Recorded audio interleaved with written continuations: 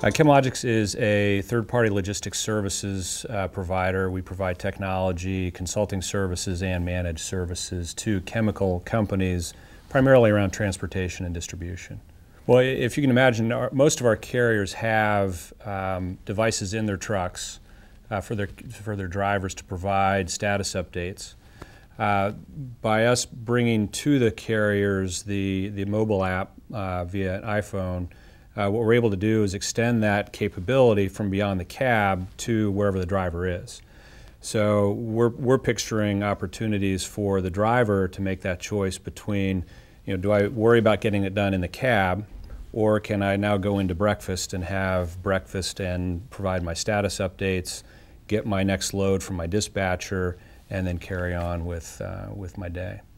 The on-demand TMS we're using is key for a couple reasons. One, when we're selling, either reselling the TMS services or selling our third party logistics services, in either scenario, we have to be on the latest and greatest uh, version of the software. Uh, we can't do that if we install and upgrade every three or five years. We can really only do that because we're using on demand technology and, and, and using all, the, always using the most current version. What we've seen is that the software as a service model has been a real differentiator for us in the last several years. I would say that we're starting to see, and I think we'll continue to see in the near term, that the mobility choice is really going to be a differentiator for us in the next couple of years.